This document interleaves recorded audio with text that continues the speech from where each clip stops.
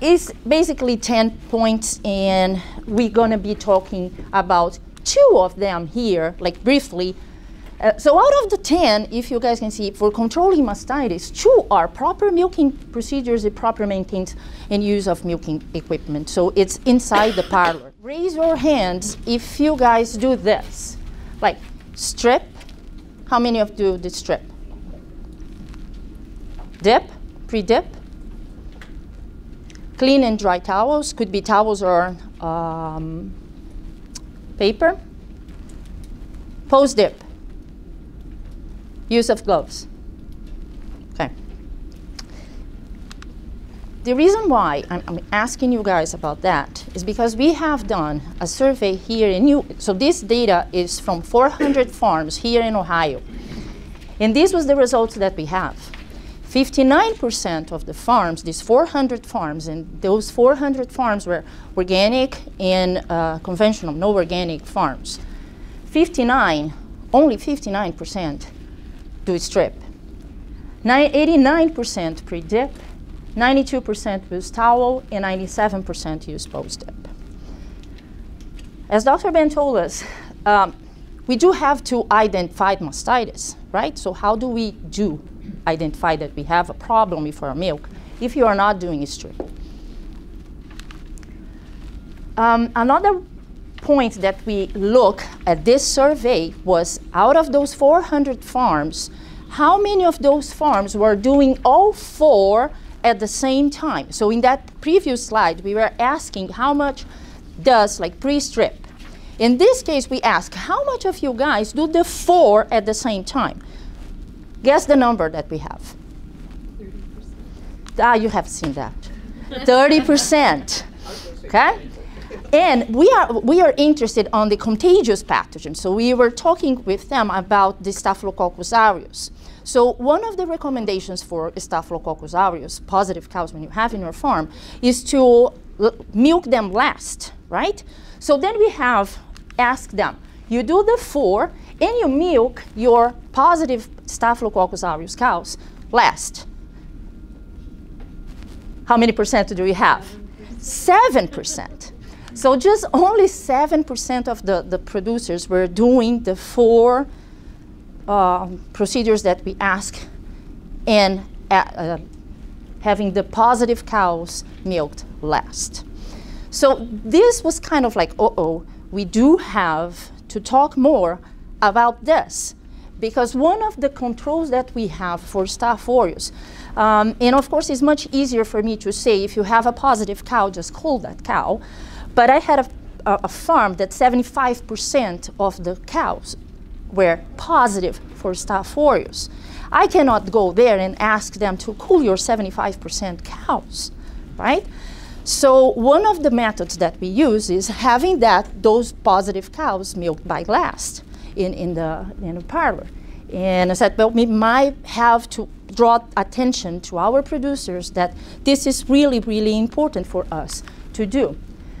Um, and not just by, and we compare those that were not using with those that were using, and the finding of Staph aureus were two times more in those herds that were not doing this.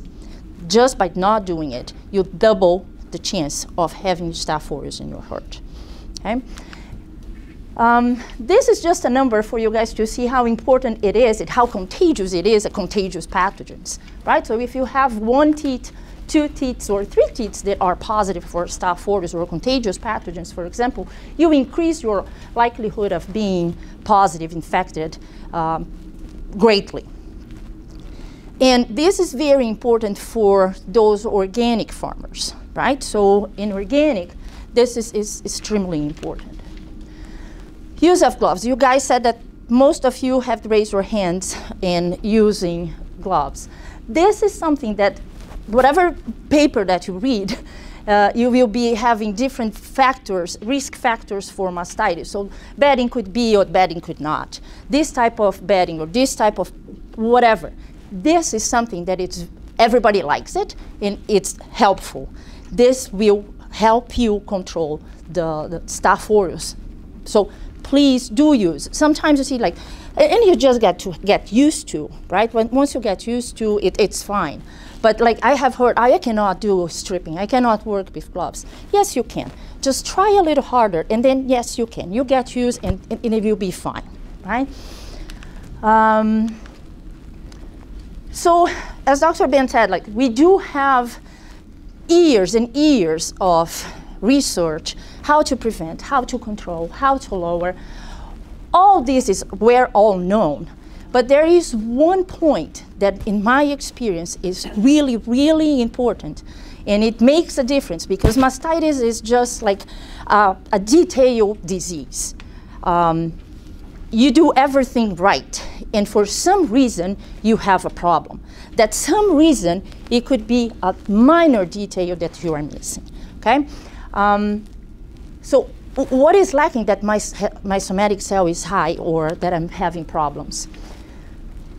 This is a very interesting uh, research that has done by a, a team from um, Canada, and if you have staph aureus, you are 2.4 times higher odds of acquiring if you do believe that you are doing enough. So this is very important. Like I, I, I'm doing whatever I can do, and that's it. Just by having that mindset, you are already like in 2.4 times higher in acquiring uh, a, aureus problem. So I always compare, like I, for my students, I always show them this. You can be this, right? So you can be this type of uh, producer, student, whatever person, that you have everything and you choose not to do anything. Or you could be like that, right? So it's really a mindset. You really have to put yourself and say, yes, I can do it, something different, and let's see it.